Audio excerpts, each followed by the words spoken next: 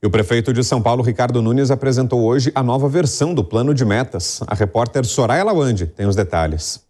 A nova versão do plano de metas, elaborado em 2021, ampliou de 77 para 86 o número de metas a serem cumpridas pela prefeitura.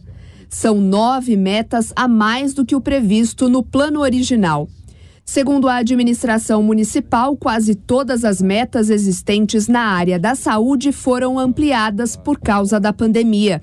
A prefeitura da cidade pretende implantar três centros especializados em reabilitação para diversas condições de saúde, implantar 15 novas unidades de pronto atendimento, as UPAs, quer também ampliar em 35% o número de estudantes atendidos pelo programa São Paulo Integral e ampliar também 200 quilômetros de novas faixas azuis para motociclistas. O prefeito de São Paulo, Ricardo Nunes, disse que também quer promover ações para melhoria da qualidade, transparência e eficiência na gestão pública municipal.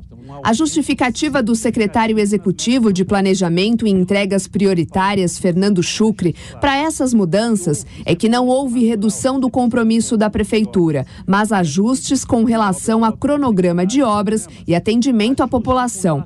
Ele disse também que foram incorporados 6 bilhões de reais a mais com a ampliação das metas. De maneira nenhuma o município abriu mão de entregar esses equipamentos para a população. Isso se reflete claramente quando a gente mostra o aumento do investimento de fato de 30 para 36 bilhões. É importante a gente lembrar que a gente está ampliando as iniciativas, ampliando o número de obras, ampliando o número de atendimento para a população de maneira geral. Teve também a ampliação e revisão de algumas metas, como a cobertura da atenção básica com a implantação de 100 equipes de estratégia de saúde da família. A prefeitura diz que 40 já foram inseridas, ou seja, ainda faltam 60 beneficiar 30 mil famílias com obras de urbanização em assentamentos precários. A meta anterior era de 27 mil famílias. Outra alteração em relação à iluminação pública, ampliar a iluminação utilizando placas de LED em 330 mil pontos. Até dezembro foi atingido 300 mil pontos além de realizar 1 milhão e 600 mil atendimentos ao trabalhador, incluindo qualificação e encaminhamentos para oportunidades formais de trabalho e geração de renda. A meta anterior, que ainda não foi atingida, era de 600 mil atendimentos. Das 77 metas vigentes, 48 tiveram algum tipo de alteração. Entre elas, além de viabilizar mais de 40 quilômetros de novos corredores de ônibus, que era a meta inicial, agora fala-se em requalificação de novos corredores. Há também mudanças previstas na área da educação, redução do lixo, emissão de poluentes e redução de mortes no trânsito.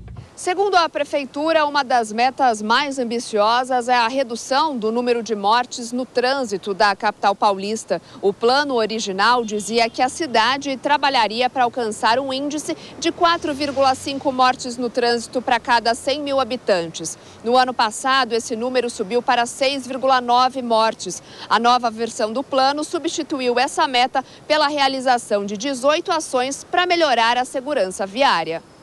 De acordo com a Prefeitura, entre essas ações que serão implementadas está a contratação de agentes da CET, mudanças nos semáforos e contratação de novos agentes do SAMU. Se a gente tem é, uma pessoa que dirige motocicleta e morre por dia na cidade, a gente precisa focar nessa ação. E qual que é o foco dessa ação?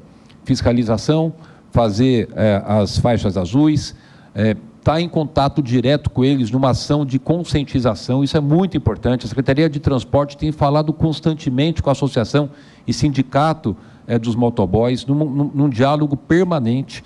A imprensa tem ajudado muito para a gente poder falar para as pessoas, respeitar a velocidade, ter, é, usar o capacete, enfim, é um conjunto de ações que a gente precisa fazer. Ninguém está desistindo de meta, a gente está adequando para algo que a gente entende que a gente vai poder ter um resultado melhor bem focado nas, nas ações, necessários para que a gente possa diminuir é, o número de, de acidentes e por, e, por conseguinte, o número de óbitos na cidade. É o prefeito de São Paulo, Ricardo Nunes, diz que é natural reajustar as metas de acordo com a evolução das necessidades da população e da percepção das prioridades da cidade com o passar do tempo.